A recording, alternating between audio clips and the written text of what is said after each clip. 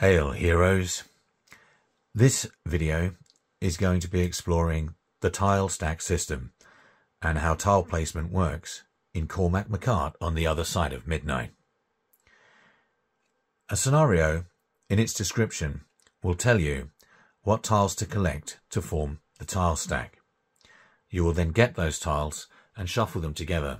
The tiles are double-sided with a thinning veil on one side and the artwork for the tiles on the other. Now some tiles are said to be event tiles. They will have a narrative description in the scenario book, ordinarily describing a situation or a fix that Cormac gets himself into, or perhaps presenting enemies that he may have to confront, or of course, both. Then, of course, there are tiles which are not mentioned as event tiles. When Cormac explores those tiles, he rolls on the fate table using two dice in what is called a fate roll. In solo, Cormac can re-roll one of the results should he find it less than desirable.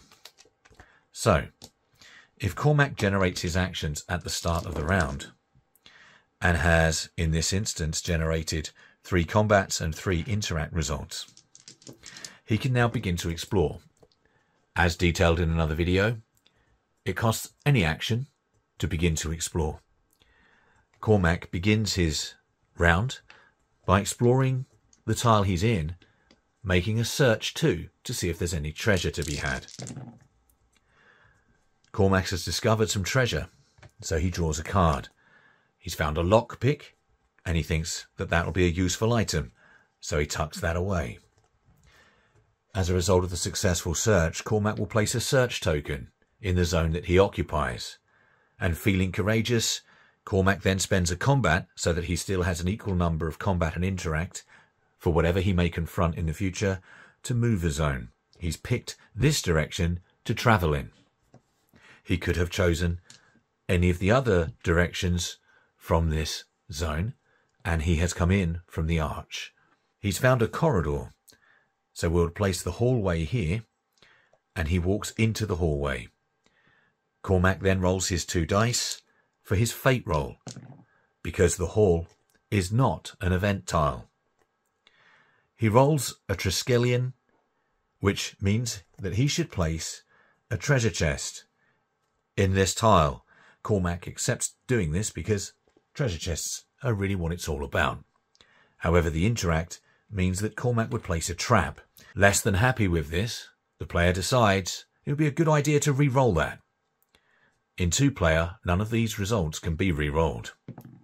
However, as is often the case, the re-roll brings up the trap again, and there's no avoiding that fate. So Cormac now searches to see if he can find the trap.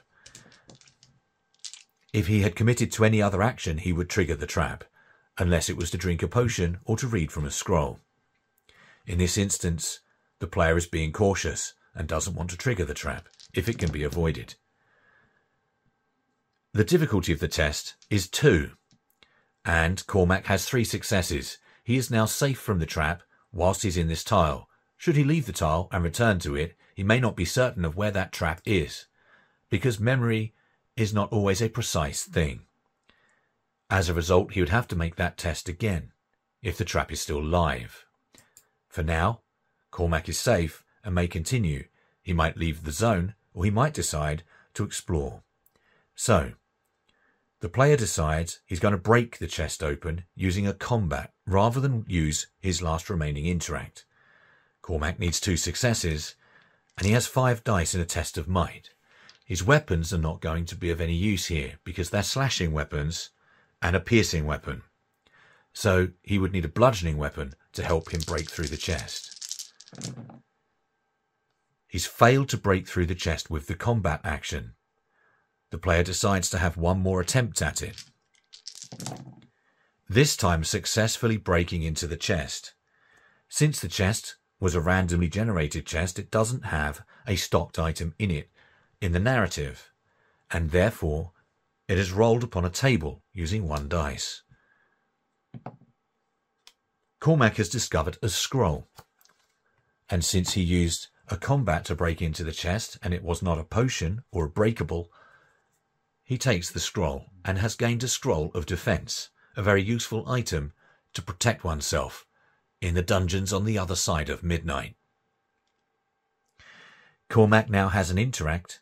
This chest is broken open, and Cormac decides that discretion is sometimes the better part of valor, and so he decides to remain in the zone that he is in and bank the interact for the next round. As described in another video, a hero may bank up to four actions.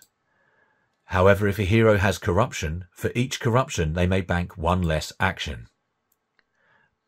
If a hero is at four corruption, trigger events in the dungeon can be quite lethal for that hero, so corruption needs to be managed, much like any other resource. That's all for this video. Thank you for your time, and we hope that you've enjoyed it. Bye now.